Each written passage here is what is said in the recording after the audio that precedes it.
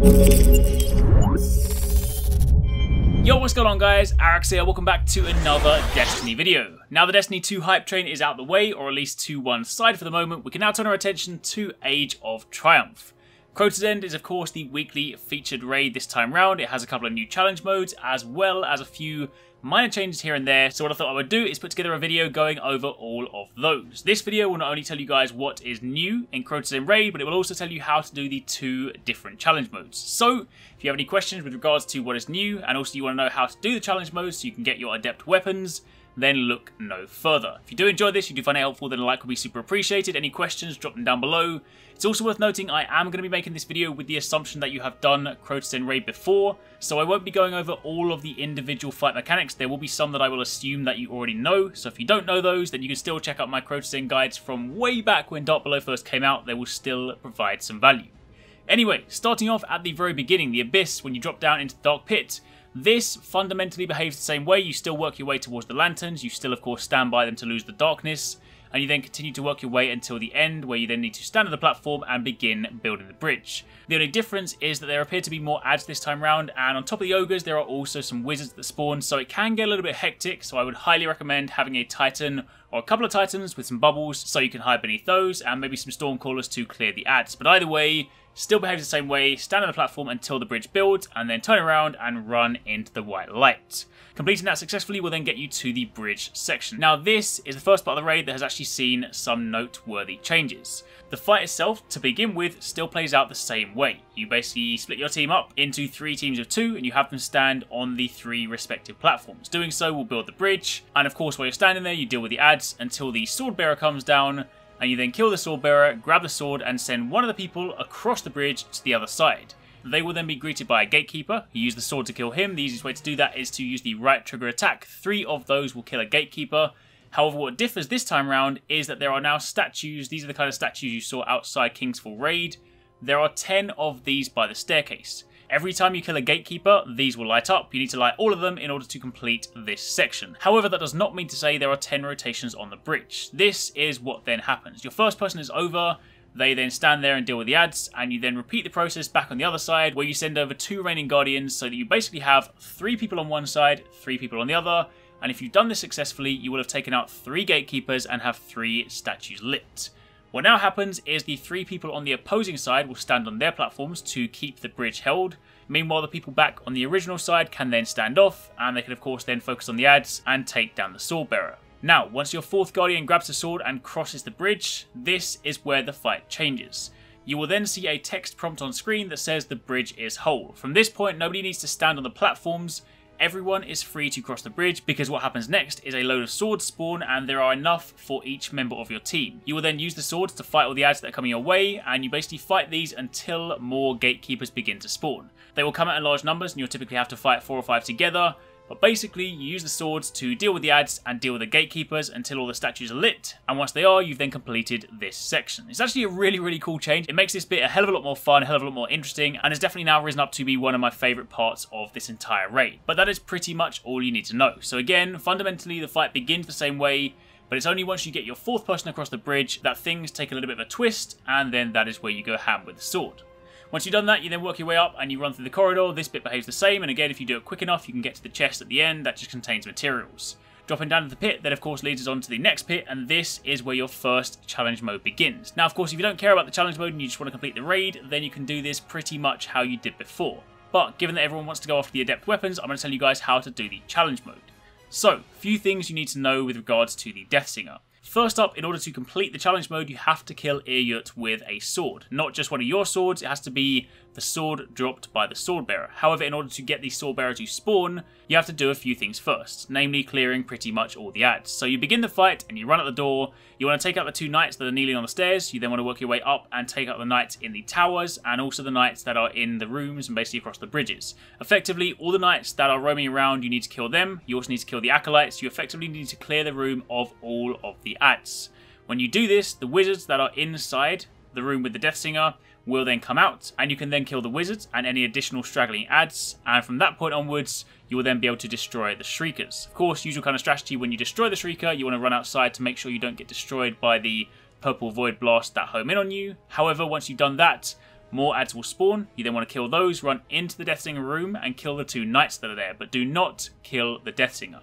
What you now want to do is turn around and come back out once you've killed the knights. More ads will spawn, you clear those out, and then some ogres will spawn down below. There are three in total, one on the left, one in the middle, and one on the right. It's also worth noting that on top of the ogres, there will also be knights up in the top left and the top right towers. The best way to deal with these is to have people with swords run up there. They go down very quickly if you have people with a sword, especially the exotic swords. So what I would recommend is when you get to the point where the ogres are there, have two people go up to the towers and deal with the ads. Meanwhile, the other people can turn to their Gjallarhorns or your strong heavy weapon to take out the ogres.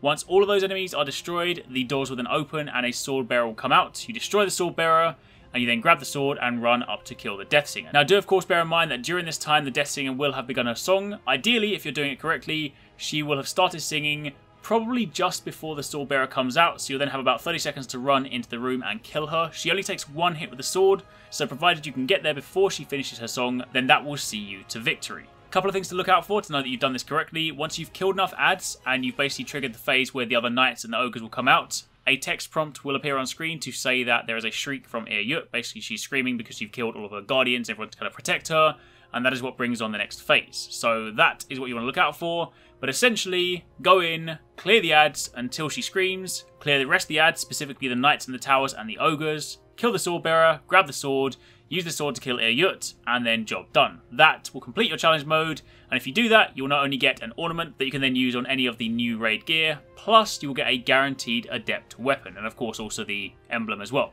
So, that is the Ir challenge mode complete. Now let's turn our attention to Crota. So first up, there are a few changes to Crota. Again, if you just want to complete the raid itself, then this does play out largely the same, but there are still a few differences. The first of which is that even on hard mode there is actually a chalice, so you can use that to heal yourself. Also, the Oversoul will now no longer spawn on player death, but it will instead spawn every time Crota stands up. So when you drop into his knee, and you deal damage with a sword, once he stands up, the Oversoul will spawn no matter what. The other main change is that the ledge outside the main window where people used to stand and fire the Gjallarhorns, that now has an invisible barrier so you can't actually stand there, but you can still stand just to the right or to the left, so that's not really too much of an issue. And in order to defeat Crota and complete the challenge mode, the only thing you need to do is have a different sword bearer each time. In other words, the same person cannot carry two different swords. So ideally, if you can do this in three rotations, you will only need three sword runners. Crota will take 16 right trigger attacks to kill and 13 to enter in rage mode. So if each member successfully lands 6 hits, then you should be fine. So this is how your fight plays out. You begin by staying in the central room, you, of course, stand on the platform, the barriers go down, you clear the ads, and then once everyone is grouped up, you then work your way outside. You then send one person down to go and meet the sword bearer, at which point everyone else will then help take him out. Once the sword is down, they grab it and then work their way up to the side of Crota, ideally on the right, because it's the easiest place to jump up. Everyone else will then down Crota, typically with Gjallarhorn or something else suitable. You then go in and you land three right trigger attacks. There's enough time to do those, don't try and get in a fourth. It's easier if you land three and then get straight out. It's also worth mentioning you cannot drop the sword. One of the typical tactics back in the day would be that you drop the sword as a blade dancer, you would then melee Crota to go invisible, you pick the sword back up.